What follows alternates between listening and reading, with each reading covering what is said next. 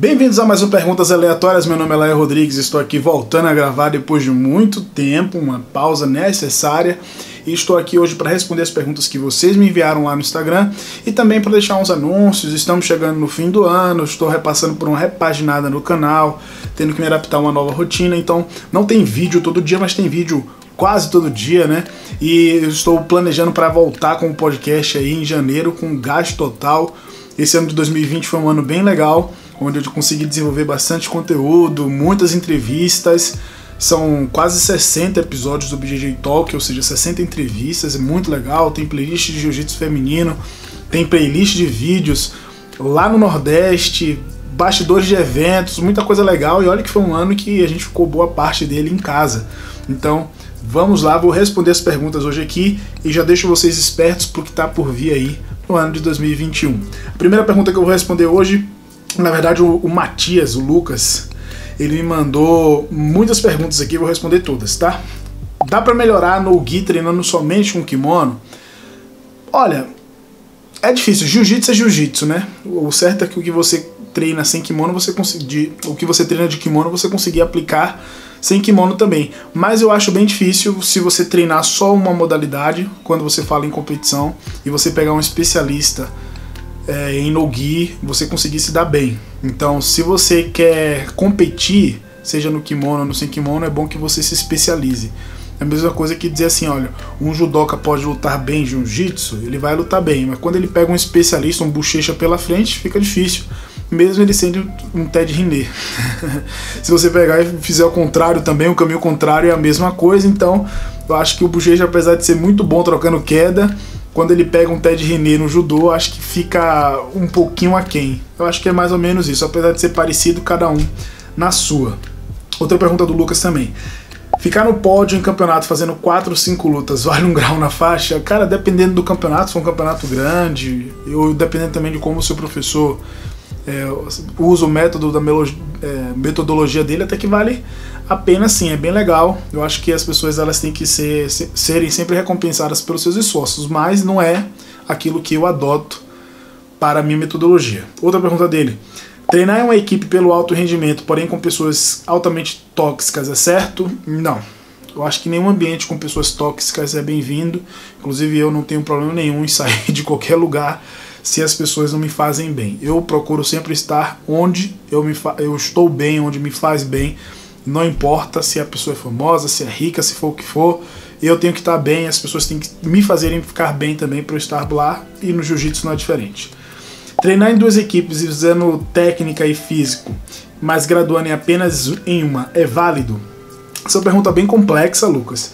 E na verdade, depende muito do seu professor, entendeu? Tem professor que reconhece as suas limitações, eu mesmo sou um desses, eu não não trabalho com alto rendimento, então quando um aluno meu quer procurar alto rendimento, inclusive eu ajudo. Eu acho que tem que ir para um lugar que todo mundo tem essa mentalidade mesmo. Mas o relacionamento de professor e aluno tem que ser sempre muito claro, muito honesto, né? Para que os dois não se sintam magoados com isso. Inclusive alunos meus que sempre estão querendo competir e tal, tô sempre lá, ó acho que você deve ir para um lugar melhor. Aí eles mesmos criam resistência, né? Eu acho que vai de cada um. Agora, quem quer treinar jiu-jitsu porque gosta, como estilo de vida, porque se identifica com a minha filosofia, aí é outra história, entendeu? Mas eu acho que dá sim, a gente já está caminhando para isso, já acontece em alguns casos, não é muito comum e as pessoas ainda estranham muito, mas eu particularmente não vejo nenhum problema. Pergunta do Alex Jordis. Como faz para passar tal guarda? Que guarda, bicho? Não tenho guarda nenhuma. Devar mandou uma pergunta aqui. Tá chegando minhas notificações depois que eu reativei meu Instagram. Esse Devar é descarado, hein? Ele fica mandando essas perguntas aqui só para divulgar o Instagram dele aí, só porque ele aparece. Esse Devar tá muito esperto, hein, Devar? Breno me mandou essa a seguinte pergunta. Por que você não fala das competições da CBJJE? Algum preconceito? Uma pergunta polêmica. Eu até já falei sobre isso aqui várias vezes. Eu, eu, eu falo, viu? Inclusive tem um dos últimos vídeos que eu fiz aí, foi falando sobre o evento lá, o sul-americano, que todo mundo foi expulso, então acabei falando. Mas eu não vejo que o nível do evento ou a forma como eles tratam os atletas seja algo para que a gente fique, por exemplo, uma hora discutindo aqui a final do Mundial da CBJJE, as chaves, entendeu?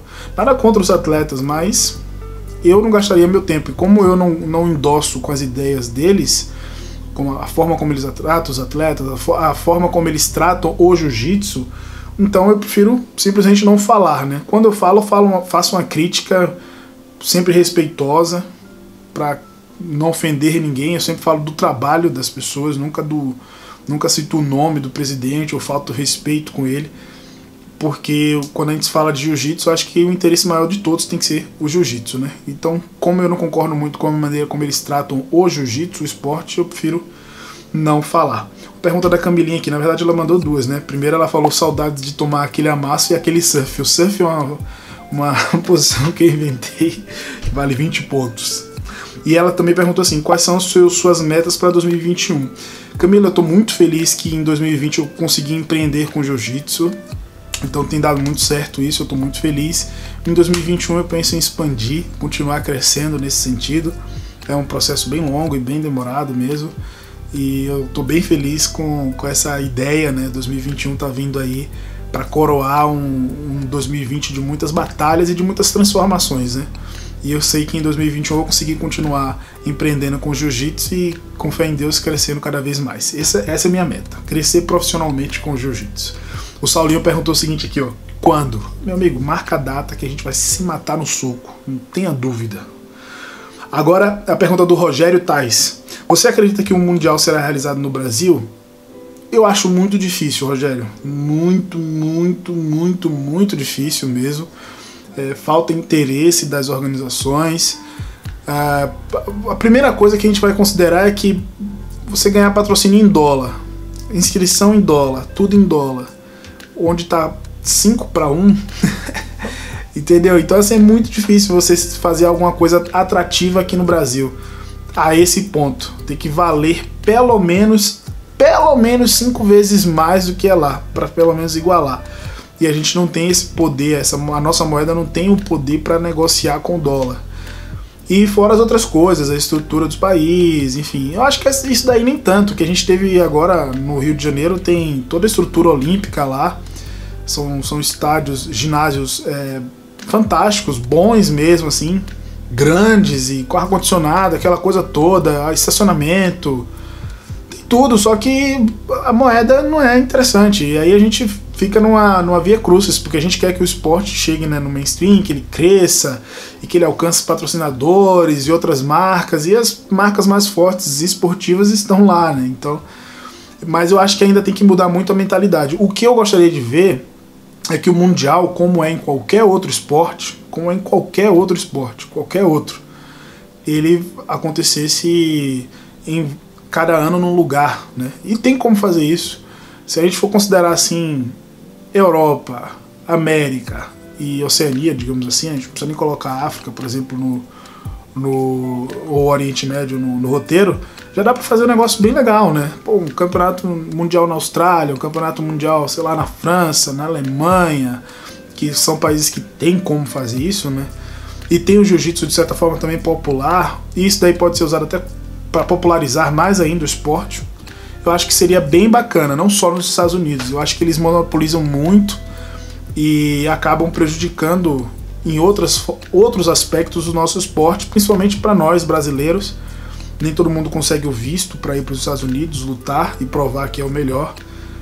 E fica realmente muito difícil, né? De você. Eu acho o que é pior, né? Nem você querer um Mundial no Brasil, é o Mundial acontecer só nos Estados Unidos. Eu acho que isso é muito mais complicado. Mas enfim, vamos viver e ver o que vai acontecer, né? A última pergunta, a pergunta da minha mãe. Ela pergunta assim: como eu consegui fazer um filho tão lindo? Momento fofura. Ô mãe, muita bondade da sua parte. Eu discordo da senhora, né? Sou tão bonito assim, mas olhar de mãe é sempre aquela coisa boa, né? Bom, pessoal, essas foram as perguntas de hoje. Eu espero que vocês tenham gostado aí, tenham acompanhado o canal. 2020 foi um ano bem bacana. Tem mais alguns vlogs para sair. É, algumas outras coisas que eu vou fazer também. Começo do ano já tenho um compromisso com jiu-jitsu. E, poxa, o que eu peço para você é para você se inscrever, se você tá vendo esse vídeo aqui no YouTube, se você tá escutando isso no podcast, se inscreve aí também, bicho, tem bastante coisa legal.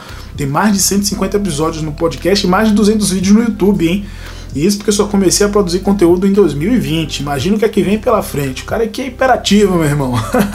então, se você tá com saudade de algum quadro, comenta aí, manda lá uma DM no Instagram. e logo logo vou abrir de novo essa caixinha de perguntas para responder essas perguntas que eu adoro. Beleza? Muito obrigado por assistir até agora. Vão aparecer mais dois vídeos aí para você continuar assistindo. A gente se vê em breve. Fique com Deus. Até a próxima.